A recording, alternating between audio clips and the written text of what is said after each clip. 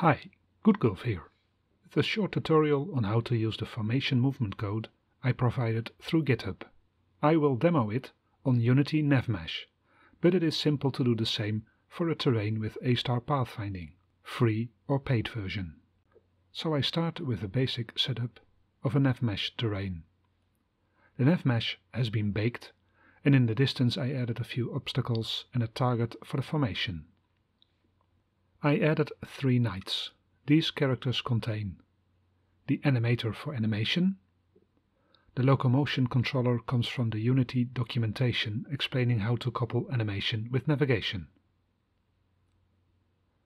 An audio source which you can use for movement sounds like footsteps. A NavMesh agent. A formation unit animation from my code. A rigid body. You can switch to the character controller if you want. Both are supported.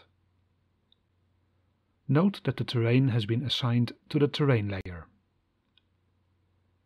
Next we add the formation manager. NavMesh support is the default setting, so if you want to use A-star pathfinding then click that button and the code recompiles. Now we add a formation by clicking that button. Both the formation and the anchor are created under the formation manager. Assign the target to the anchor. Make sure the anchor speed is lower than the knight's NavMesh agent speed. In my case, I set it to value 2.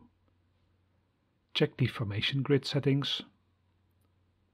Create an empty object and add the formation sample script to it. Don't forget to add the formation grid to its property.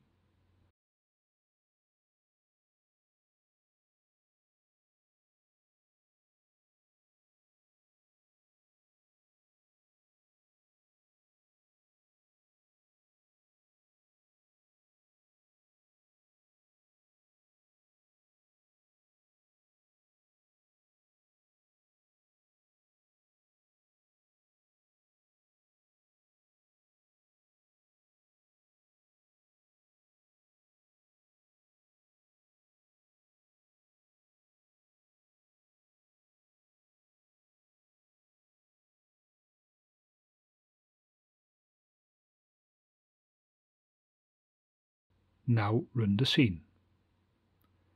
Use the A key to assign the knights to the grid. In order for this to work, the three characters need to be named Knight 1, 2 and 3. Change the sample code if you wish. Use the space key to get the formation moving. And that's all.